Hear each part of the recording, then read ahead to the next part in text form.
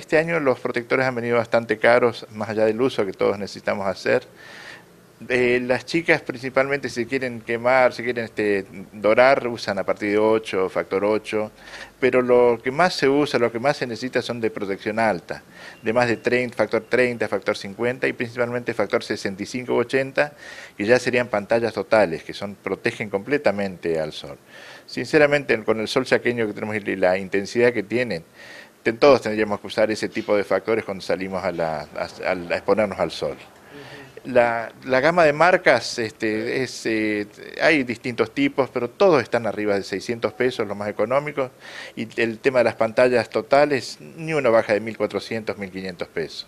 Claro, bronceadores sí son los que son alrededor de factor 8, factor 20, que permiten eh, dorarse a, a quien le interesa aprovechar el sol, pero siempre con mucha precaución, siempre el tema de los horarios en los cuales uno se expone al sol, principalmente no, no estar en las horas eh, que son el sol eh, se encuentra más intenso, así que después de las 15, 16 horas sería lo mejor, y antes de las 11 de la mañana.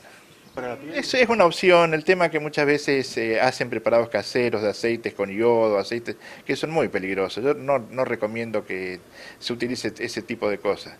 Ah, vienen aceites que son que al, al, ser líquidos se aprovechan mejor, aceites por supuesto de, de que son eh, autorizados por ANMAT y son, son forma de emulsión, así que están bien aceptados. El tema es no utilizar preparados caseros que pueden resultar muy peligrosos. ¿Qué precio tienen en comparación de, por ejemplo, los, los bronceadores? Los, tienen exactamente los mismos precios. Son bien en forma de emulsión, así que son los, los precios son prácticamente iguales, entre 1.200 y 1.500 pesos.